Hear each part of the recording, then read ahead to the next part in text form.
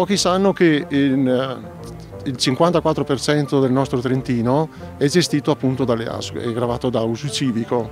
Dal 1003 fino a, a Napoleone il Trentino era uno Stato autonomo al pari di altri Stati europei quindi noi siamo sempre stati un popolo che ci siamo autogestiti, autogovernati. E dal, da Napoleone, quindi il governo francese, bavarese, austriaco, hanno sempre cercato di, anche il governo fascista, di eh, demolire queste proprietà e non sono mai eh, riusciti. E cos'era questo uso civico storicamente? Storicamente era il diritto di avere della legna per il riscaldamento, del legname per costruire il tetto o la casa, il diritto di eh, prelevare eh, l'erba, sai, per fare il fieno, così, il diritto di pascolamento nelle maglie e il diritto che adesso è entrato sulle, sull'estrazione del porfido, sulle cave, di prendere questo lastrame per fare la copertura dei tetti. Le proprietà che sono boschi, prati, maghe,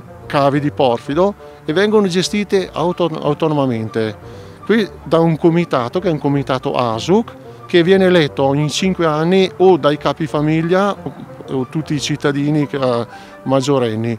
Ogni anno noi dobbiamo rendere conto di tutta la popolazione, quindi ogni anno si fa un'assemblea pubblica dove si, si espone il bilancio, tutte le scelte che vengono fatte straordinarie vengono fatte coinvolgendo la popolazione.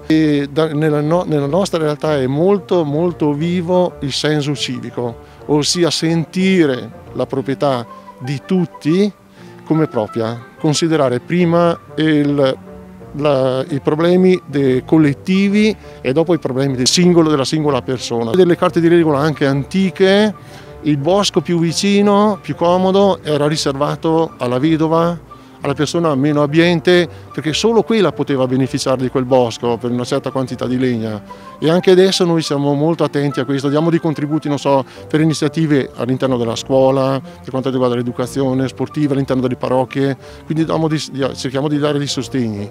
I proventi delle attività delle ASUC vengono ridistribuiti in termini economici oppure si, fanno, si fa un altro tipo di opere? Allora, i proventi prima di tutto vanno impiegati per quanto riguarda la manutenzione ordinaria e straordinaria dei beni. Ci sono delle, delle frazioni che hanno delle entrate patrimoniali importanti e noi cerchiamo sempre una condivisione per quanto riguarda gli investimenti col comune.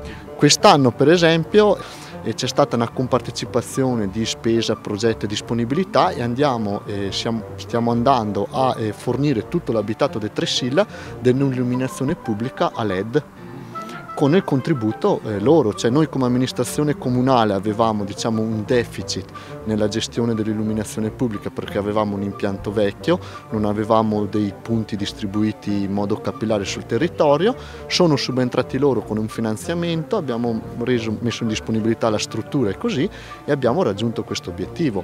Per quali usi viene garantito ai, ai componenti dell'ASUC l'utilizzo della legna delle foreste? Sì, assolutamente. Allora una parte va, viene come commercializzato. Una parte i censiti fanno una richiesta all'ASUC per propri usi, non so, se si brucia, se prende fuoco una casa, noi diamo tutto il legname gratis. Poi se un cittadino da noi fa, so, fa lo scultore, ha bisogno di fare una stazionata o quant'altro, chiede e lo diamo a un prezzo veramente basso. Poi il legnatico, la linea che deriva dal, dalla lavorazione per quanto riguarda la vendita del legname, quello viene, eh, viene integrato con altre piante e viene assegnato a ogni famiglia, a ogni fuoco per il riscaldamento delle case, quindi con la stufa o, stufa o caldera a legna.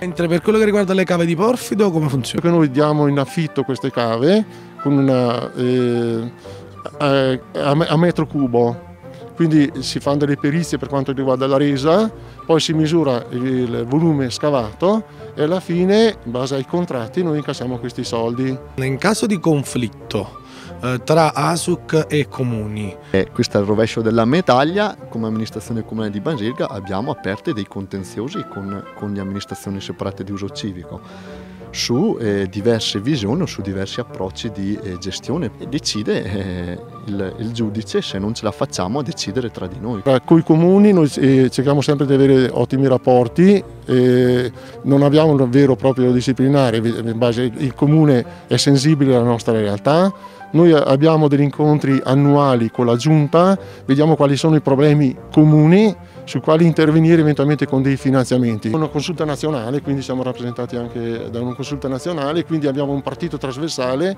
quando si parla di vendere i beni eccetera interveniamo anche politicamente. Se voi pensate che questi comitati nascono nel 1300 e vivono tuttora, secondo me un esempio diciamo, di democrazia no? che supera eh, le varie influenze de, del tempo, secondo me è già di per sé una conferma che si sta andando nella direzione eh, giusta. Insomma. Non dobbiamo dimenticarci che questi beni hanno permesso alle nostre popolazioni di vivere in povertà ma in modo miserabile. Quindi